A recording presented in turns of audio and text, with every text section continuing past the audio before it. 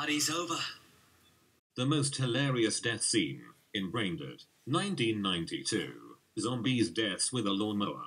Overprotective mother Vera Cosgrove, spying on her grown son, Lionel, as he visits the zoo with the lovely Paquita, is accidentally bitten by the fearsome Sumatran rat monkey. When the bite turns his beloved mother into a zombie, Lionel tries to keep her locked safely in the basement, but her repeated escapes turn most of the neighbors into the walking dead, who then crash a high society party thrown by Lionel's boorish uncle Les.